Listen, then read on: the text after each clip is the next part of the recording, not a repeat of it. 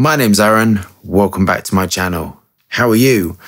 I'm fantastic and I'm doing really well. And today I'm viewing Royal Crown Sultan. The spiel on this perfume is Sultan is based on the ancient tradition of Arabs culture, paying homage to its strength and refinement. This fragrance is like a drug that in moderate doses dull the senses. I think from reading this, it's been translated from another language because the English isn't quite right or something. I don't know. Tell me what you think. Within the perfume, the spicy, vibrant notes fuse with a dark, sensual, and smoky vanilla and some rose and tuberose to reveal a narcotic signature. An exclusive, glamorous, and seductive scent invoking the juxtaposition of harmony with the intensity of recklessness. Its perfectly rich and irresistible scent is a must have for those addicted to sweet vanilla and highly recommended if you need something unique, bold, yet elegant. Burmese oud, I like Burmese oud, and black leather over purple jasmine, an intense perfume that the skin transforms in an enchanting magnetic aura, giving charisma and charms to the one that wears it. This is expensive. 420 euros for 50 mil, and for 100 mil, it's 579. Notes are Madagascar vanilla, dates, fruity notes, cedar. The middle notes are labdanum, Moroccan rose, jasmine. The base notes are myrrh, sandalwood, agarwood, oud, and saffron. Do we have our very, very expensive bottles of Royal Crown Sultan? Are we engaged with the high stuff? Let's get testing. So I'm going to show you the box in the presentation because I think for £400, it's about £400 uh, plus shipping, plus taxes. So to get it into the UK. Kind of, you're going to have to, aren't you? That's, that's part of the experience. All the INCI on the back is great. Yeah, it's made in Italy. I think it was translated from Italian to English. That's kind of what I feel. So it says alcohol is 70%, which means it's 30% concentration, which means it's an extract of parfum or a parfum. So it's housed in a little box. And here is the presentation. What do you think of this? How do you feel? I don't know how I feel. I mean, it looks quite extravagant, but I, I, really don't know how to feel about it. I kind of think it's heavy, it's weighty, it feels luxurious. I like the sort of greeny black, but I kind of don't know. I mean, I think for fragrances like this, where the packaging is expensive and the, you know, all of that, you kind of, you want it a bit blingy, the crown, I don't know. Says the man whose logo was a unicorn. I'm assuming it's going to be very strong, so I'm only going to apply two sprays. Do you have this? Do you like it? What do you think of it? I really would like to know. Do you think it's worth the money? £400 for this. So this is a vanilla-centric fragrance. And one of my favorite fragrances was Naxos by Xerjoff. I thought that, I loved that. I thought that was really, very, very nice. And what I'm picking up is similar aroma chemicals are used. So I quite like it.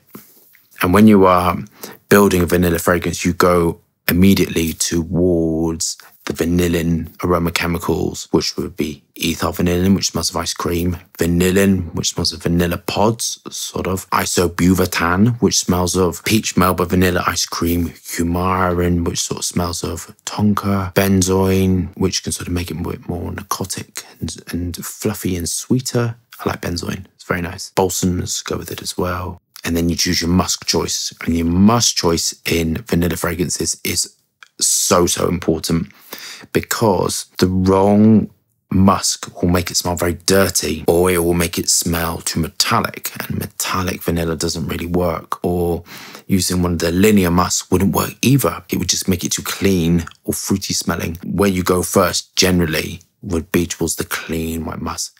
Galaxolide ethylene brassylate just clean white musk. They just sort of work. Heliotrope also you can use in a vanilla, and that's really nice in it as well. This is the clean white musk on it. And the reason why I use the clean white musk is because if you used sort of any of the other musk, it could smell dirty. And dirty vanilla isn't really appealing, is it? Dirty vanilla smell. I know some people quite like it. Or it could smell like candles if it's too musk heavy. The animalistic musk wouldn't just wouldn't work at all. You just wouldn't wouldn't go for them. And also, the right amount of musk is key.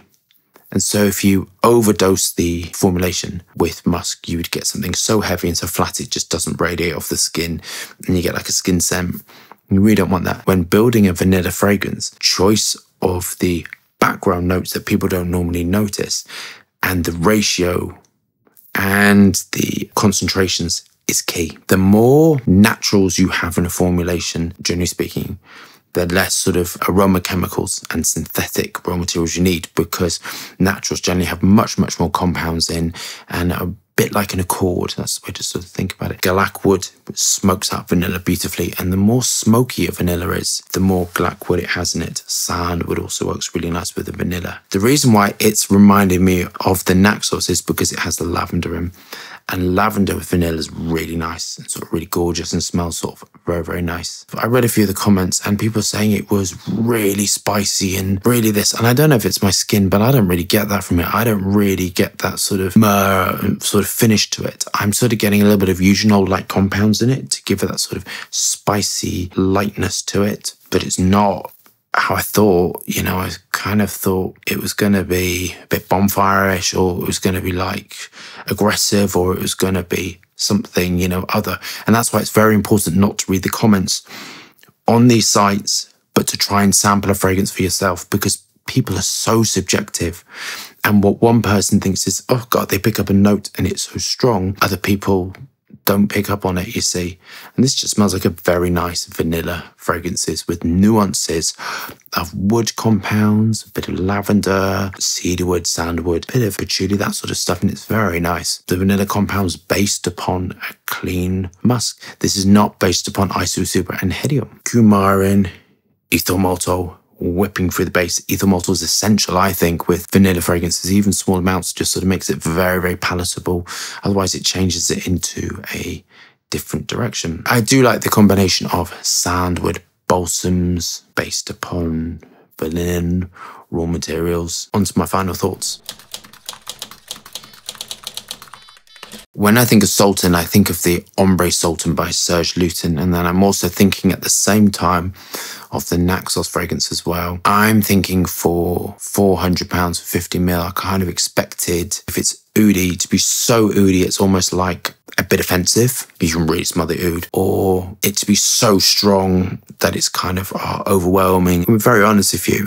I'm a little bit underwhelmed. I feel a little bit it's a very nice fragrance, nothing wrong with it at all.